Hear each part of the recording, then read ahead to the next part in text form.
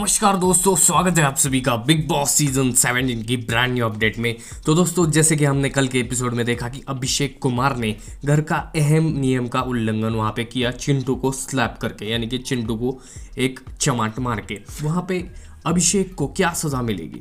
तो इसके ऊपर एक बड़ी खबर आ रही है। जी हाँ दोस्तों वेल कन्फेशन रूम में मनारा, अरुण और अंकिता को बुलाया गया था बिग बॉस द्वारा और पूछा गया था घर के अंदर अभी क्या हुआ।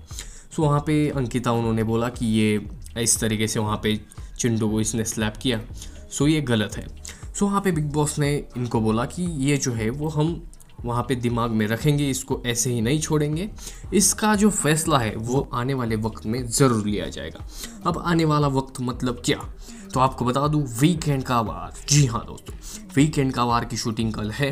सो इसका फैसला कल होगा और ऐसी खबरें आ रही है कि अंकिता लोखंडे कैप्टन है सो उनको आर्काइव रूम में कल बुलाया जाएगा और पूछा जाएगा कि अभिषेक ने जो है चमाट मारी है चिंटू को। सो ये इसकी वजह से इनको घर में रहना चाहिए या फिर नहीं।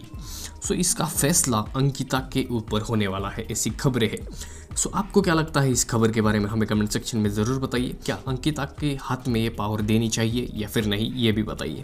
फ़िलहाल आपको ये वीडियो अगर पसंद आई हो तो ज़रूर लाइक कीजिए। धन्यवाद।